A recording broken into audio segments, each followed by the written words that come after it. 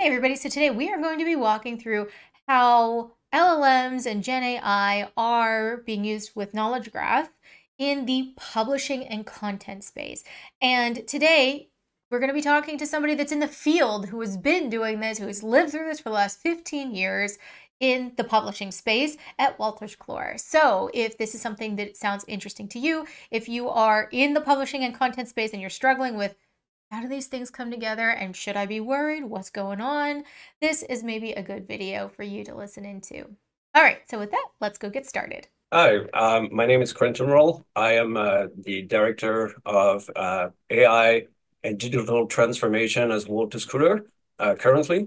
And my role has really been uh, around promoting the role of generative AI and of semantics, knowledge graph, to drive expert solution or to accelerate the delivery of expert solution in our products uh, at Wolters Kluwer.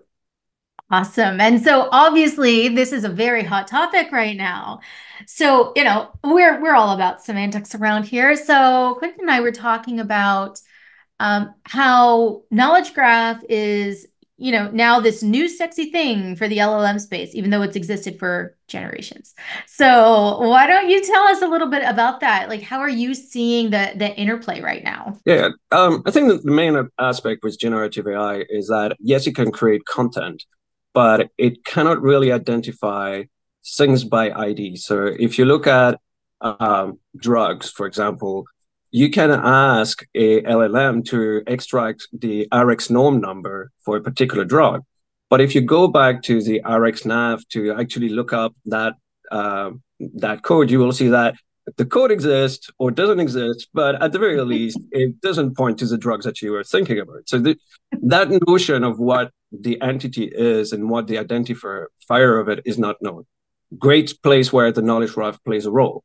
So um, the the second aspect is that um, with LLMs and with the uh, retrieval augmented uh, generation is that you're missing the context. So yes, you can find that um, two entities are close to one another because they have a similar vectorization, but at the end of the day, the LLM is just there to um, suggest or predict the next token or the next word. Um, but if you're trying to have a, holistic view of a domain, you're missing all of the connection to the rest. So mm-hmm. let's say now that I want like to find um, information about a particular disease, uh, I will find all of the research that relates to it.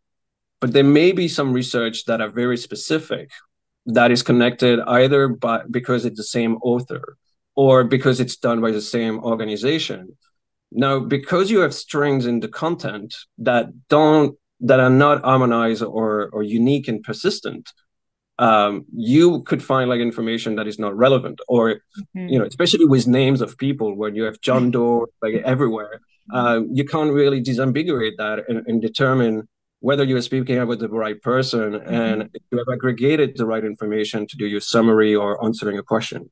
I mean, that's that's the point of semantics, adding that context, right? So I'm so you and and thank you for explaining it in these very like there's one layer and then there's the second layer because I see a lot of folks who are trying to describe this either go way too simplistic or way down the rabbit hole, right?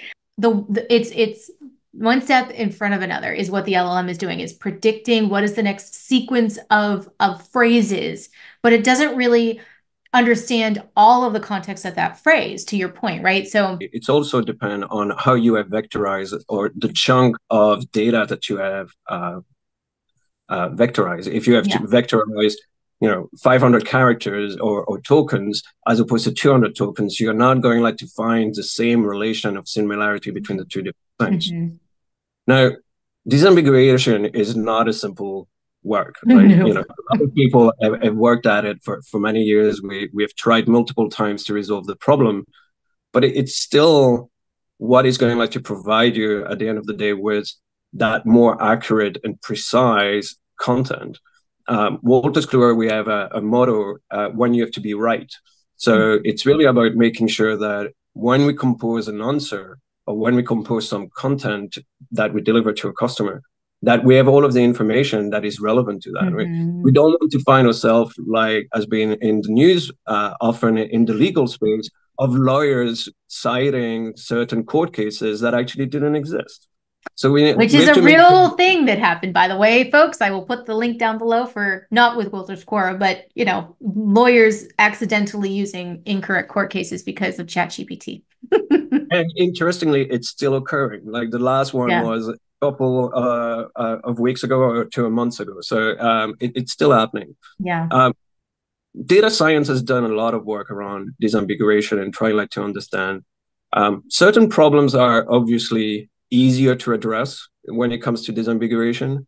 Uh, looking at countries, you know, you have not really 500 different ways to speak about a country. You have country name, you have its ISO code, uh, being a two code or uh, or three code, depending on organizations. Well, it, it's a bit more complex, but it's you know feasible because you you have coordinality with where something took place, mm-hmm. uh, other things.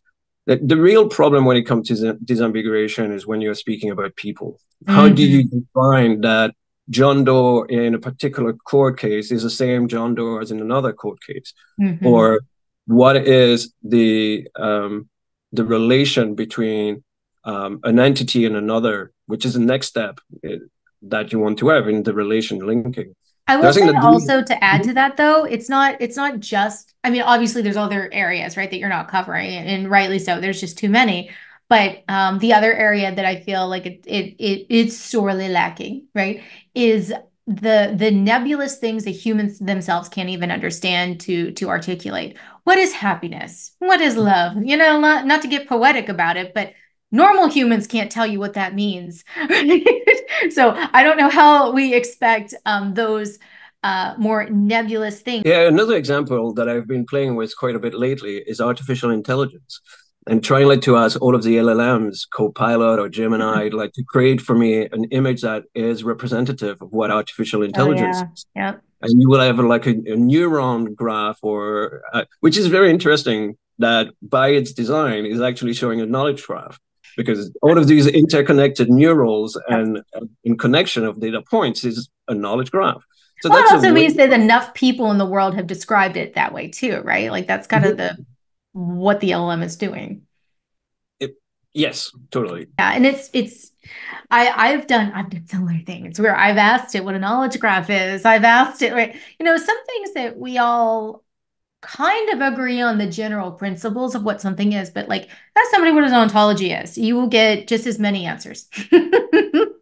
uh, I, I, remember as part of my PhD trying like to find the correct definition of what an ontology was, like from conceptualization of X to Y. Mm-hmm. Um, and in the end, you know, there is one from 1992 or something that Gartner that everyone has been using but if you really look on Google, everyone has got its own interpretation. Yeah. And, and, that has been, I think, one of the biggest problem with all of the technology. Uh, I refer to knowledge engineering as part of being uh, artificial intelligence. A lot of people in my 10 plus career before the LLMs never considered that as being data science or, or part of artificial yeah. intelligence. Yeah. I think it's it's an interesting and when I say generational thing here, I don't mean age group. I mean that there's been generations of different technology, right? Mm-hmm. And some folks, again, not an age group, um, kind of gravitate towards uh, certain generations of technology. And what I've realized is, you know, a lot of folks will say a knowledge engineer, oh, you're not a real engineer. You try doing, you try figuring out what um you know what all of these different people and their mental models are on you know how these two things relate to each other and yes can you do some some great um, statistical modeling on it? But yes there are still going to be a lot of outliers. And guess what? Those outliers are what people are going to be asking anyways. And so you know i just look at some of these things and um, unfortunately i've i've seen even at some of the largest uh, companies in the world still defining ontology as a non-technical role. And that's just so surprising to me because especially now that we're trying to connect these in to be used in you know the the granddaddy of uh, or the grandfather i should say because granddaddy means it's been around for a really long time and that's not necessarily true but grandfather could be you know a new but big big in in the industry is the llms which is a uh, very high degree of of computational linguistics and uh, network theory and like you name it right well sure, that's technology to to your point about science, um, one of uh, my team member um, is always saying, you know, it's as much science as it is arts. Mm-hmm, um, mm-hmm. Science, in as much as you have to understand the principles. Mm-hmm. You know, we were speaking about con- cardinality constraint earlier, and you have to understand the implication that that has from an ontological perspective. But at the same time, do you represent a person or a lawyer as a subclass of a person, or do you represent it as being something totally different that are related to each other? Oh my goodness, you're, you're over time. You know. You're hit. Oh, I'm having PTSD right now.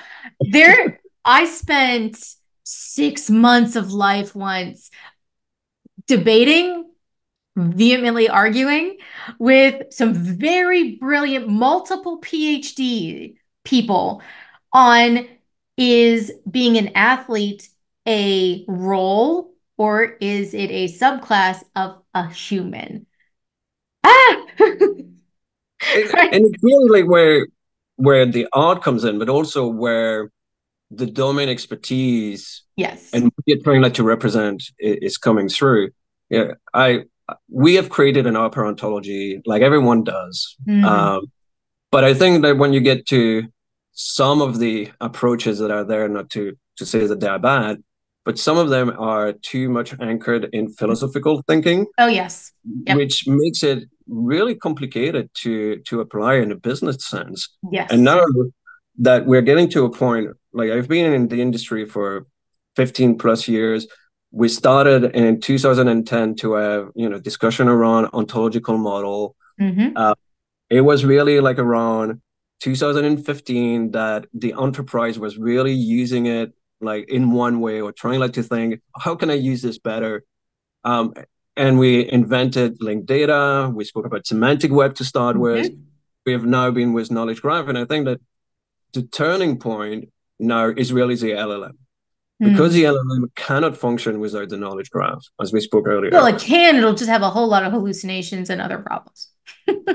well, well, it can if you're trying like to create highly creative content without context or relying on context for something else. So yes. if, you're, if you're writing a story or a blog and you want it like to be informative but also you know creative, it's going like to handle that use case very well.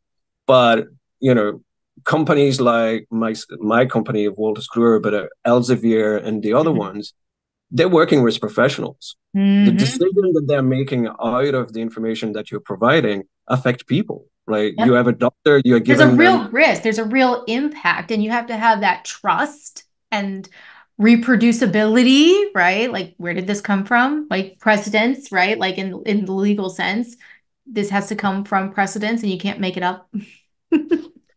explainability. You know, one of the big things was um, with LLMs and um, is that you never know what you're going like to get. Yeah. I've been uh, writing uh, some piece of code recently to generate my own blog because I didn't want like to use Copilot uh, or Gemini and just having mm-hmm. one second. And what I found was that with Gemini, if I ask like how many words I want or, or how long the reading time I want it to be, is always going like to return pretty much like the same thing. Mm-hmm. So I started like looking at the different models, and you can see that really using from one model to the other, you're going like to get totally different results. Uh, mm-hmm. Uh, and that is because of the training data. And unfortunately, you know, you don't have a lot of companies like uh, Allen Institute or mm. others that are with Olmo providing all of the data set. Like OpenAI mm-hmm. is very uh, untransparent uh, to say the least, about what data it's using. And exactly. And they're using and they're changing over time. Like they, yeah. Uh, you know, famously were uh, crawling BitTorrent website early on for for uh, GPT four, and now they've implemented additional safeguards. So you can't have a risk uh, replicability over time. Plus, a lot of the solution are hosted solution. Yeah. And you have no control over which exactly. version. So you really need to have that grounding and that, you know, knowledge that is present in your knowledge graph to really be able like to, to ground like what yeah. you're going to get like the higher accuracy. Yeah. And and for those that are interested, I actually have a whole architecture on fact checking for LLMs using a knowledge graph. I'll put a link up above somewhere for that. But this is one of the other reasons the knowledge graph is so helpful in this is guess what you can do with a knowledge graph? You can put uh, the provenance. You can say where you got this from. You can say what sources agree on this statement versus other statements, right? So the LLM, you know, can can have those those um, resources, and does it know exactly which resource led to this word or this this phrase being you know generated in a certain way? No, because that's how LLMs work, right? Like that is how that that blender of of content works. But what it can do and what it should do is say, okay, here are the contributing resources that are part of this model. And then the rest of us who are using it can say, okay, I, I can see that you've used a lot of reputable sources. Or I can look at it and say, why did you use all these conspiracy theory sites?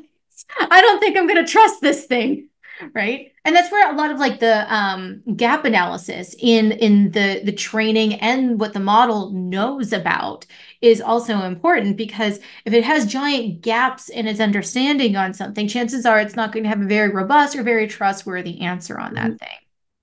Which is yeah, the other problem right? Because some things are not well known yet. There's a lot of things in the world that are kind of sparse because they're still being developed and I fear that you kind of open a Pandora's box here about implementation of knowledge graph. Uh, yeah. Uh, when it comes to, you know, if you use like something like Neo4j, that expression of the provenance that you were just mentioning is, is relatively easy because you can put uh, properties on the edges exactly. be- between nodes, and therefore you're not created as much content. Unfortunately, RDF doesn't do that. You have to do the reification, which is a totally a different problem. Uh, RDF star is obviously and hopefully going to be adopted and, and be a solution to that problem. Yeah. But but that has also ended, you know, ultimately like the adaptation or the adoption of the knowledge graph. The technology is not there.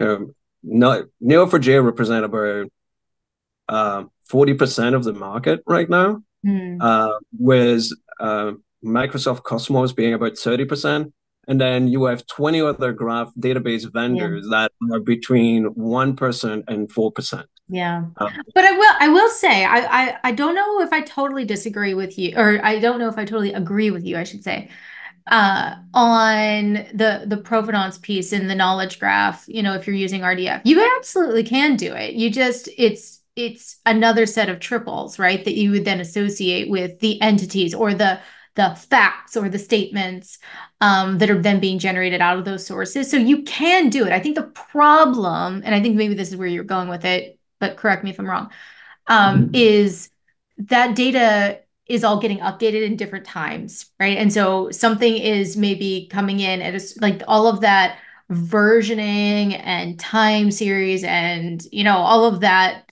um, kind of uh, something is true in a certain time frame piece is not well done in in uh, a, a traditional RDF setting, I would say. Well, I think that that's definitely one aspect, but uh, the other aspect that I'm thinking of is really the implementation of the uh, of the graph itself.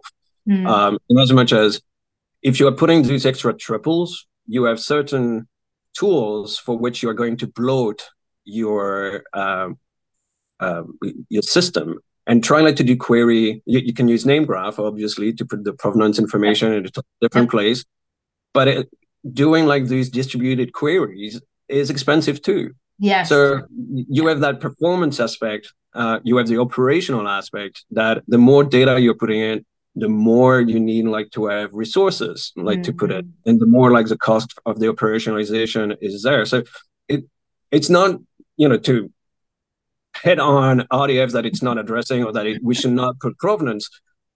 We have a, a a system where that we have created like to rely uh, to do extraction of insight based on NLP and machine learning, and we use provenance to know well to debug.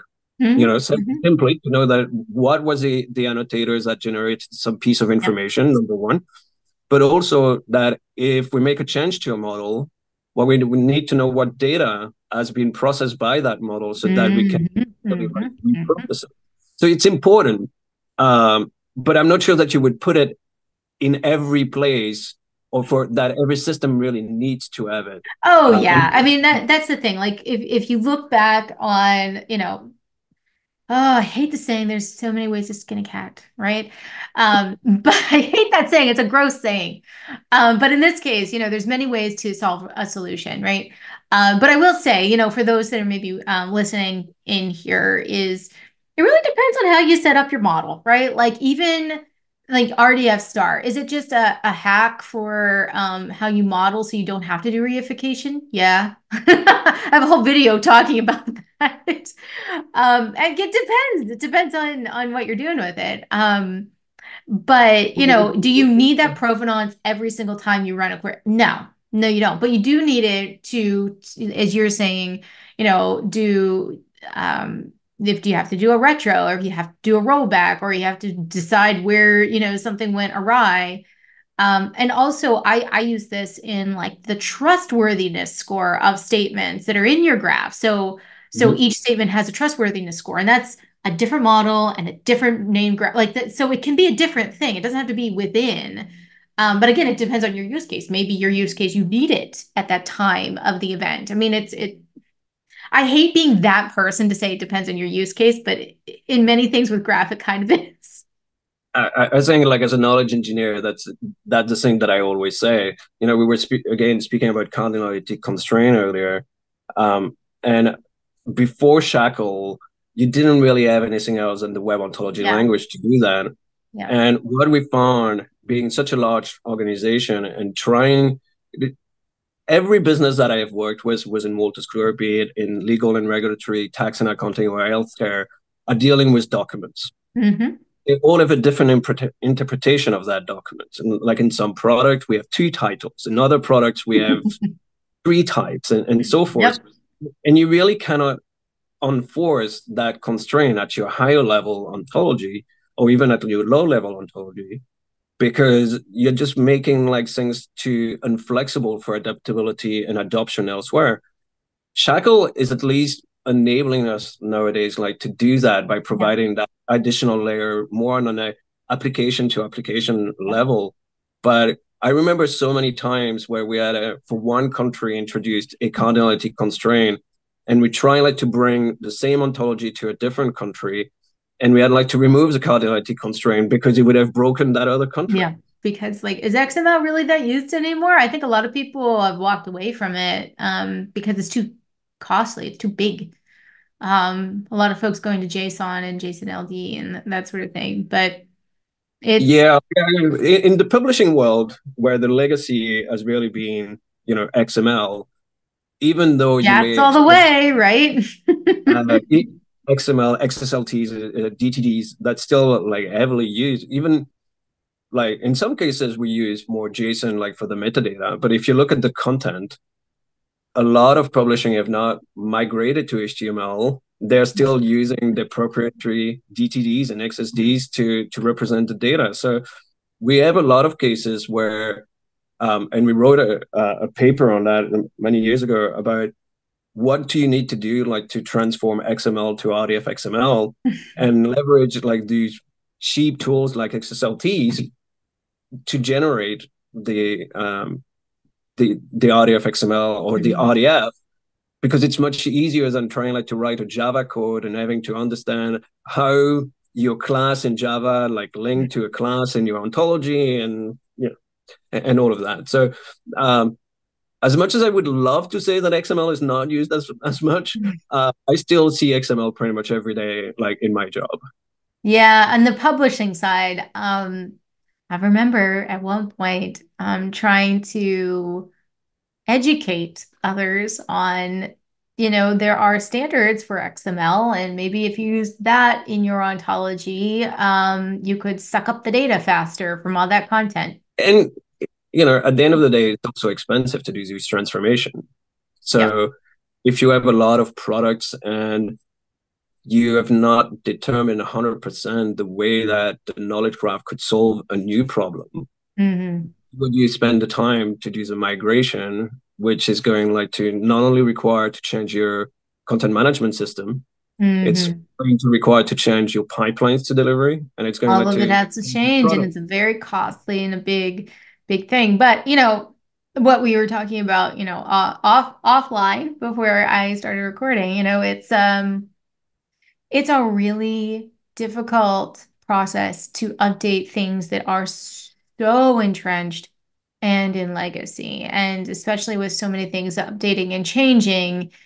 Um, what ends up happening is, you know, you kind of jerry rig it in and hope for the best, unfortunately.